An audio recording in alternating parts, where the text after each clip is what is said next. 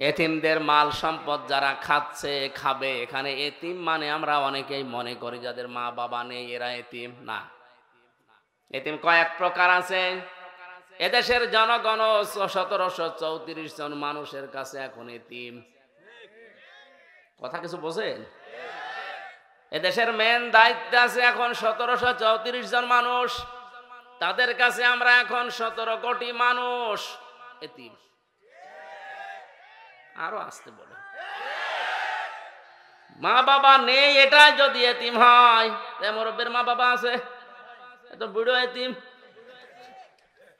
এতিমদের মাল আজ যারা আত্মসাত করে, এতিমের জন্য বাজেট হওয়ার পরে এসে বাজেট মেরে দেয়, এরাও কিন্তু এতিমের সম্পদ খাচ্ছে।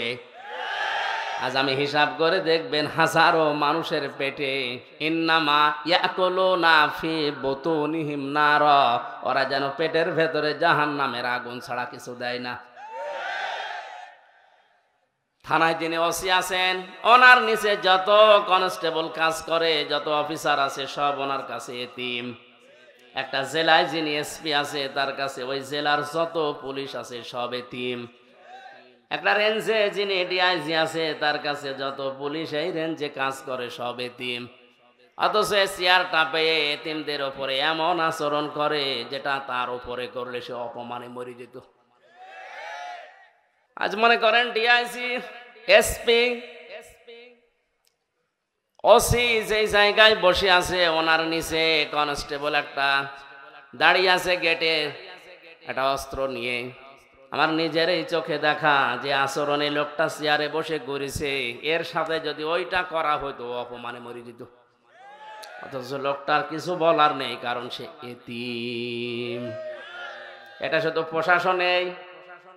সব জায়গায় এটা চলছে। তো নবীজি জানিয়েছেন, এতিমের মাথায় যদি কেউ হাত বলিয়ে দেয়, যতগুলো চুল পড়বে, ততগুলো সওয়াব হবে। এ পৃথিবীতে সবচাইতে ভালো কাজ আল্লাহর দৃষ্টিতে, রাসুলের দৃষ্টিতে এতিমের রক্ষণাবেক্ষণা করা। আমরা গরিব দেশে বাস করি, এ দেশে এতিমি বেশি। যারা দায়িত্বে আছে এতিমদের প্রতি যত্নশীল হন। আপনি যদি জীবনের হায়াত বাড়াতে চান, অধীনস্থ যারা আছে, এতিম বলে যাদেরকে মনে করা হয়, এদের সাথে আচরণ ভালো করেন। আজকে আসার সময় একটা হাদিস পড়ছিলাম নবীজি বলেন, তোমার জীবনের এবাদত বন্দিগি কবুল হচ্ছে কিনা যদি বুঝতে চাও? আমার এই তেত্রিশ বছর বয়স। আমি যদি এখন দেখতে চাই যে আমার জীবনের এবাদত কবুল হয়েছে কিনা, নবীজি বলেন, তোমার আচরণের দিকে তাকাও। মানুষের সাথে মহামালাত, মহাসারাত কথাবার্তারা কেমন? এটা নিজের দিকে তাকিয়ে বলো যে তোমারটা কবুল হয়েছে কিনা। এই জন্য কোনো মানুষের সাথে কথা বলার নিয়ম আল্লাহ শিখিয়েছেন।